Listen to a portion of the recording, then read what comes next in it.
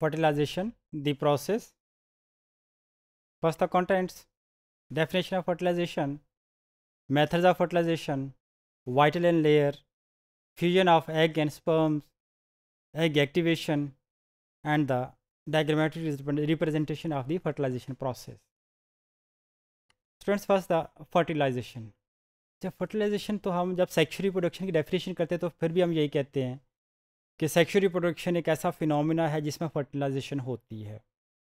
तो फर्टिलाइजेशन क्या है? फर्टिलाइजेशन बेसिकली वो प्रोसेस है जिसके दौरान एग और स्पर्म आपस में फ्यूज़ होते हैं।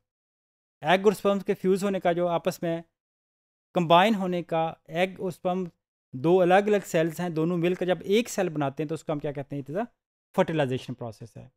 तो बाई डेफिनेशन हम क्या कहेंगे? Fertilization process in which sperm and egg they fuse with each other to form the zygote zygote जो है वो। अब जो जाइगोट है वो अगली जनरेशन का पहला सेल है, पहला नुमाइंदा है।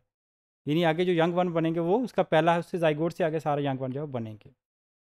अब जो फर्टिलाइजेशन है अब चूँकि animals there are versatile different types of animals हैं, उसमें फर्टिलाइजेशन के डिफरेंट मेथड्स एग्जिस्ट करते हैं।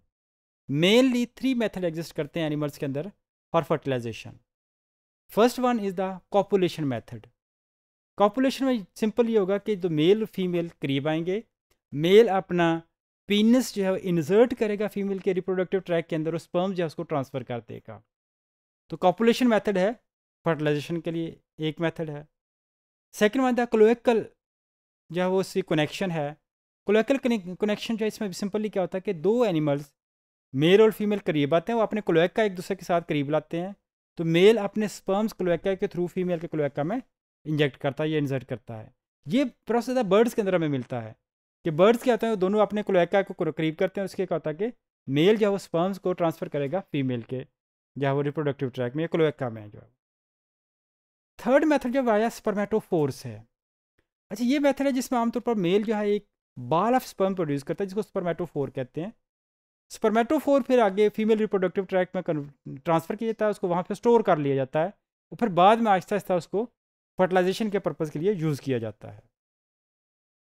अच्छा अब फर्टिलाइजेशन की तरह चाहे स्पर्म जो है, वो जब वो एग तक पहुँच जाता है, अब अगर एग का सिनेरियो देखें तो एग के ऊपर एक बाकायदा मेम्ब्रेन है। एक एग की तो होगी सेल मेम्ब्रेन एग की सेल मेम्ब्रेन के अलावा एक और मेम्ब्रेन है सेल के एग के ऊपर दैट इज़ कहता है वाइटलिन मेम्ब्रेन वाइटलिन मेम्ब्रेन आमतौर पर ट्रांसपेरेंट होती है और different types of fibres proteins की बनी होती है।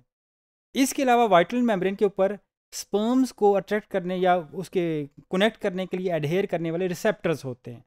तो रिसेप्टर फॉर स्पर्म्स और इसके अलावा फाइबरस प्रोटीन जो है, ये क्या करती है? दोनों मिलकर जाओ वाइटलिन मेम्ब्रेन जो है बनाती हैं। स्पर्म्स के लिए ज़रूरी है कि वाइटलिन मेम्ब्रेन को होल बनाकर वहाँ से उसको क्रॉस करे। जी, अब जैसे मैंने कहा कि स्पर्म्स के लिए ज़रूरी है कि वाइटलिन मेम्ब्रेन को क्रॉस करे, इसके लिए फिर क्या है कि स्पर्म्स के पास उसके हेड है और हेड के को क्या हम कहते हैं कि उसमें जो एक्रोसोम लाइसेंस होती हैं। स्पर्म के हेड को एक्रोसोम बोलते हैं। एक्रोसोम के अंदर क्या चीज़ मौजूद है? लाइसेंस हैं। लाइसेंस वो एंजाइम्स हैं जो क्या करेंगे वो? जो इसकी वाइटलिन मेम्ब्रेन है, उसको होल क्रिएट करेंगे, उसको, उसकी डाइजेशन करेंगे। तो इसके आमतौर पर स्पेसिफिक एंजाइम जो है वो लाइसेंस जब रिलीज़ होंगे, स्पर्म्स के तो उसमें क्या करेगा, वो एक होल क्रिएट हो जाएगा, जिसके वजह से स्पर्म जो है वो आगे एग तक जो है पहुँच जाएगा या एग की मेम्ब्रेन तक पहुँच जाएगी। अब ये एक इंटरेस्टिंग, बहुत सारे स्पर्म जो है वो अप्रोच करते हैं एग को। लेकिन एक वक्त में सिर्फ़ एक ही स्पर्म सक्सेसफुल होगा एग की फर्टिलाइजेशन के लिए। बाकी जो होते हैं वो या तो उनके पास इतनी एनर्जी नहीं होगी या फिर ये होगा कि दे विल बी डिलेड वो जो सबसे पहले फर्टिलाइजेशन करेगा वही सक्सेसफुल रहेगा। और जो बाद वाले होंगे वो सक्सेसफुल नहीं होंगे। अब स्पर्म जब एग के साथ फ्यूज़ हो रहा होता है तो उसके ती, दो तीन केसेस हो सकते हैं। कुछ केसेस में सिर्फ़ स्पर्म का न्यूक्लियस जो है वो एग तक पहुँचता है। जो उसकी टेल है या माइटोकॉन्ड्रिया, वो नहीं पहुँचेंगे। कुछ वो होंगे जिसमें न्यूक्लियस और कुछ माइटोकॉन्ड्रिया पहुँच जाएँगे या, और कुछ वो होंगे जिसमें न्यूक्लियस, माइटोकॉन्ड्रिया और इवन टेल भी जो है वो अंदर चली जाएगी एग के साथ जाकर फ्यूज़ कर जाएगी। अब जब फर्टिलाइजेशन होती है तो जैसे ही एक्चुअली मेम्ब्रेन को जाकर स्पर्म अटैच करेगा, अटैक करेगा उसकी मेम्ब्रेन के ऊपर तो egg will get activated. Egg activate हो जाएगा, वो स्पर्म को अंदर ले आएगा और उसके बाद नेक्स्ट स्पर्म की एंट्री को बैन कर दिया जाता है। तो इस प्रोसेस को हम क्या कहते हैं ये? Egg activation egg activation basically metabolic process का एक सीरीज़ है, जिसमें जो एग है वो एम्ब्रियो में कन्वर्ट होना, आगे सेल डिवीज़न स्टार्ट करवा देगा और मज़ीद किसी भी स्पर्म की एंट्री को बैन कर दिया जाता है। This is the overall process of fertilization अगर आप देखें, सबसे पहले नंबर वन पोजीशन के ऊपर स्पर्म जो है, इसने अप्रोच किया है एग को। एग के ऊपर ये जो वाटलेन मेम्ब्रेन जो है, उसका दूसरा नाम है जोना पेलिसुडा। यानी मैमल्स के अंदर वाइटलिन मेम्ब्रेन को जोना पेलिसुडा भी बोला जाता है, पेलोसिडा बोला जाता है।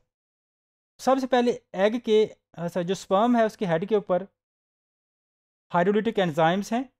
ये बेसिकली है हमारे पास लाइसेंस हैं, ठीक है, या एक्रोसेंस तो एक्रोसोम के अंदर लाइसेंस या हाइड्रोलिटिक एंजाइम्स हैं।